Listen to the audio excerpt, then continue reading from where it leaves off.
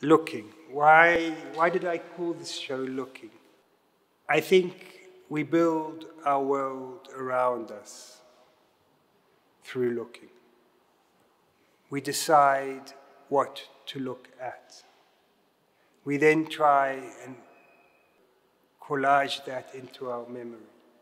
But visual intelligence and looking, I really believe that it's a very big part of who we are. We remember our history through looking.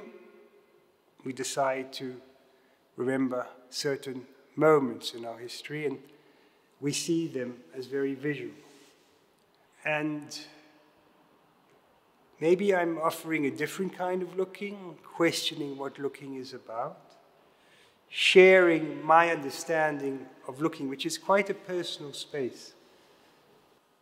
The source material for this show differs, but there is something we can keep in mind is a walk through a museum where you walk through the contemporary department, but then you walk, say, to the ancient Greek department, and you don't really differentiate between them. So they are of the same time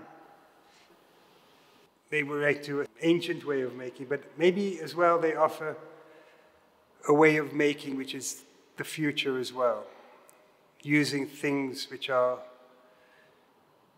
not making too much you know, mess in the world and offering us a way of understanding which is maybe lost a bit now, a way of understanding through the hand, a way of understanding through texture. So there's a lot of things which were, I fear we lose through the modern world. And I, it's important for me to bring back the sense of touch and how important it is.